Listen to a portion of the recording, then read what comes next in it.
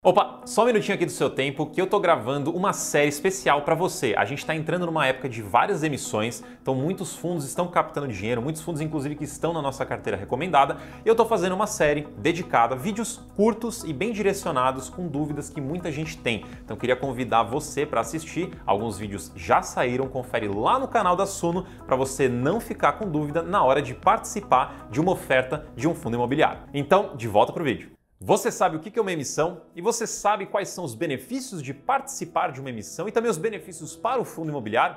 Se não, esse aqui é o início de uma série que eu quero fazer explicando sobre as emissões, explicando como funcionam, passo a passo, tirando dúvidas de vocês. Então, esperem diversas pequenas aulas, pequenas pílulas sobre esse assunto e também conto com a participação de vocês através dos comentários para a gente ir decidindo os próximos conteúdos, as próximas aulas e também, obviamente, para vocês tirarem suas dúvidas, eu vou pegando e vou usando nos próximos conteúdos.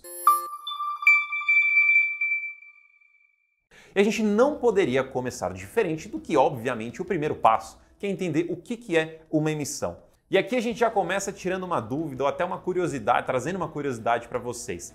Emissão, subscrição, oferta pública, oferta restrita, eh, follow-on, IPO, Essencialmente, todos esses termos dizem mais ou menos a mesma coisa. Eu vou explicar ao longo dos próximos vídeos o que, que significa cada um deles, mas quando você ouvir emissão, subscrição, uma oferta, entenda que é praticamente tudo a mesma coisa e é exatamente o que vamos falar aqui nessa aula. Então, basicamente, uma emissão é quando um fundo imobiliário deseja crescer, captar mais dinheiro. Por que, que isso acontece? Por que, que talvez ele não cresça de outras formas? Porque o fundo imobiliário, por lei, ele precisa distribuir praticamente todo o lucro que ele recebe para os seus cotistas. A lei diz no mínimo 95% do lucro caixa, ou seja, 95% ali do lucro que ele recebe, ele tem que distribuir para os seus cotistas. Alguns distribuem os 95, alguns distribuem 100, alguns ali vão transitando entre esses dois números, mas é praticamente tudo. Então sobra muito pouco para o fundo crescer organicamente. Então, como que ele faz para conseguir crescer de fato, se tornar maior, fazer novos investimentos, comprar novos imóveis? Ele abre um evento chamado emissão ou subscrição ou uma oferta. Esse evento serve para ele negociar diretamente com investidores, onde ele entrega novas cotas para esses investidores, enquanto os investidores pagam por essas novas cotas e o fundo recebe esse dinheiro. Então, é uma forma dele receber mais dinheiro, milhões de reais desses investidores, crescer e fazer novos investimentos. E aqui tem um ponto importante. É, eu mencionei que quando o fundo faz uma emissão, ele negocia com investidores. Mas o que isso quer dizer exatamente? E aqui eu vou trazer dois termos super importantes e também populares, né, comuns. Você tem o mercado primário e você tem o mercado secundário. Começando pelo secundário, que é mais fácil de entender. O mercado secundário é quando você, investidor, abre o aplicativo, abre ali no computador o site da corretora, entra na plataforma, no home broker e você compra cotas de alguém. Então, quando você entra no home broker, entra na corretora ou também no aplicativo e faz essa negociação, uma compra ou uma venda de cotas, você está, na verdade, trocando com outro investidor. Esse dinheiro nunca passa pelo fundo, nem essa cota passa novamente pelo fundo. O dinheiro que você usou para comprar, então o dinheiro que você tirou do bolso, vai para o bolso de outro investidor e esse outro investidor te entrega as cotas do fundo. É essa a troca de investidor para investidor. O mercado primário, por outro lado, é quando você, investidor, negocia com o fundo. Aí sim você está negociando diretamente com o fundo. Então, o dinheiro que sai do seu bolso entra no caixa do fundo. E uma cota que não existia, o fundo cria essa cota e entrega para você. Então, ali o fundo está gerando novas cotas, captando dinheiro novo, crescendo para fazer novos investimentos. E quando que essas emissões acontecem? Não tem uma data específica, um período específico, elas acontecem quando tiverem que acontecer e puderem acontecer. E para que isso aconteça, você precisa de um cenário adequado que envolve principalmente duas coisas.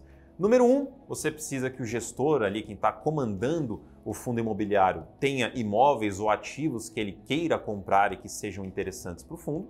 E número dois, um cenário, uma janela, uma abertura do mercado para ele conseguir captar esse dinheiro. Por que precisa dessa janela? Porque você não compraria diretamente do fundo uma cota que é mais cara do que você ir lá no mercado, como você já está acostumado, e comprar de outro investidor. Por exemplo, se o fundo quiser vender cotas a 110 reais, mas se você abrir o home broker, o aplicativo da sua corretora ali, e tiver 100 reais comprando no mercado de outro investidor, sendo que a cota essencialmente ela faz a mesma coisa, não tem diferença, você vai comprar mais barato. Não faz sentido você comprar mais caro. Então, quando o mercado está num patamar de preço que faz sentido o fundo abrir uma emissão e colocar um certo desconto na cota para ficar mais barato comprar ali, aí você tem as duas coisas. Você tem o que a gente chama de pipeline, né, lista de compra, lista de investimentos que o gestor pretende fazer, e você tem uma janela de captação onde o preço vai fazer sentido. Você junta essas duas coisas e aí o fundo consegue fazer uma emissão. Até porque não adianta só fazer emissão, ele precisa ter a aderência do mercado, as pessoas precisam querer comprar, participar e subscrever dessa emissão para ele conseguir, de fato, aí, juntar o dinheiro para fazer o que ele pretende fazer. Então você precisa dessas duas principais coisas. Quando elas casam e se juntam, uma emissão pode acontecer. Então não tem ali uma data específica, basta você acompanhar o fundo e aí sempre vão sair documentos prévios avisando, ó, vamos abrir uma emissão, ela vai do dia tal ao dia tal e é assim que vai funcionar. E basicamente esses aí serão também os nossos próximos conteúdos que a gente vai abordar nos próximos vídeos. Os períodos, como funcionam, como participar. E rapidamente mencionando os benefícios de uma emissão que eu posso abordar em outros conteúdos, por que, que é interessante uma emissão, conceitualmente falando? Porque o investidor consegue comprar cotas normalmente mais baratas do que o mercado, então comprar mais barato é algo super interessante para o investidor.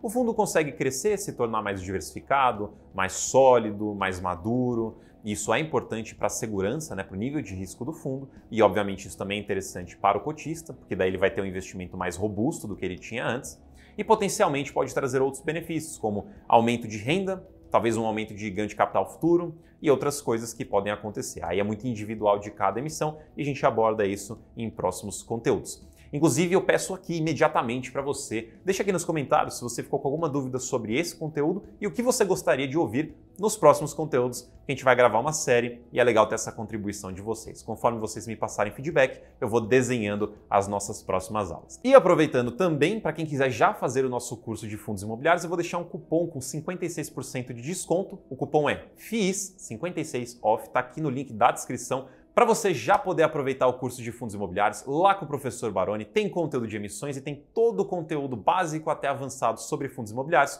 O link está aqui na descrição. E espero que vocês tenham curtido aqui o conteúdo. Se inscreve no canal, deixa seu like, ativa o sininho, deixa no comentário também seu feedback e a gente se vê na próxima aula.